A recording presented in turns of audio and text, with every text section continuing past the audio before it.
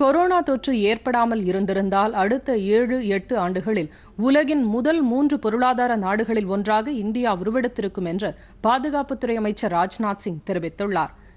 குடியரசு துணைத் தலைவர் வெங்கையா நாயுடு பதவியேற்று மூன்றாண்டு காலம் நிறைவடைவதையொட்டி தொடர்பு தொலைத்தொடர்பு மாற்றம் என்ற தலைப்பின் கீழ் எழுதப்பட்ட புத்தகத்தை அமைச்சர் இன்று வெளியிட்டார்.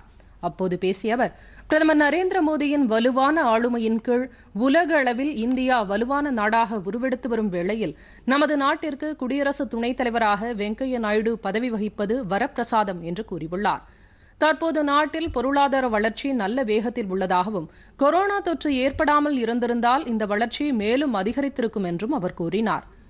குடியரசு துணைத் தலைவர் வெங்கையா நாயுடு எப்போதும் முதலில் நாடு பின்னர் கட்சி அதன் பிறகுதான் தனிமனித நோக்கம் என்று கூறியுள்ளது. பல்வேறு முன் உதாரணமான பேச்சுக்கள் அடங்கிய தொகுப்பு இந்த புத்தகத்தில் இடம்பெற்றுள்ளதாக அவர் கூறினார்.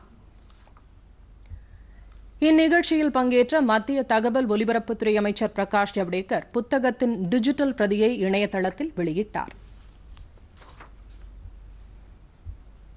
பொதிகை செய்திகளை யூடியூபில் தமிழ் நியூஸ் தூர்தர்ஷன் என்ற சேனலிலும் முகநூலில் டிடி பொதிகை நியூஸ் என்ற பக்கத்திலும் ட்விட்டரில் டிடி நியூஸ் சென்னை என்ற பக்கத்திலும் இன்ஸ்டாகிராமில் டிடி பொதிகை நியூஸ் என்ற பக்கத்திலும் காணலாம்.